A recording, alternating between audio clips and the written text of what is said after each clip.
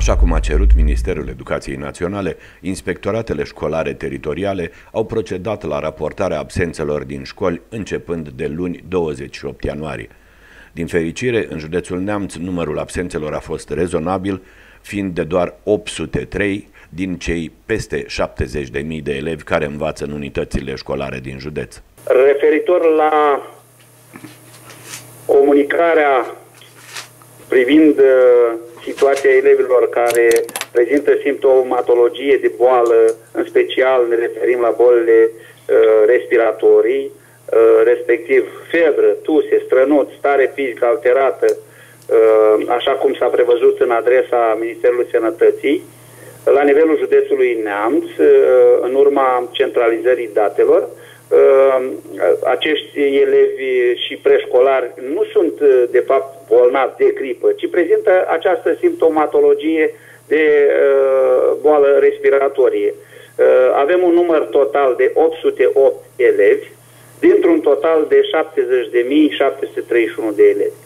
Deci, la nivelul județului Neamț, nu considerăm că avem uh, situații critice care ar solicita să uh, se închidă unitățile de învățământ. Ehm, așa, uh, și următoarea comunicare când se face? Mâine, mâine. Uh, tot la aceeași oră vă sunăm? Da, tot la aceeași oră. Sperăm să nu avem fluctuații mari în ceea ce privește numărul copiilor. Adică sperăm să uh, nu apară cazuri foarte multe față de ce avem astăzi.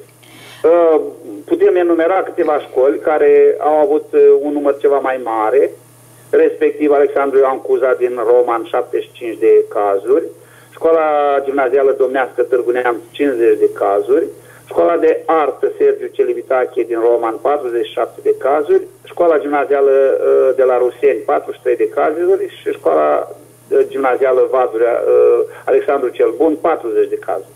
În rest avem școli cu număr mai mic. Raportările vor continua zilnic, școlile fiind obligate să comunice inspectoratelor școlare numărul de absențe, iar acestea, la rândul lor, Ministerului Educației. Între timp însă numărul de morți din cauza gripei s-a mărit ajungând la 47, așa cum anunță Centrul Național de Supraveghere a Bolilor Transmisibile. Ultima victimă a fost un bebeluș de 11 luni, decedat luni ianuarie 28 seara.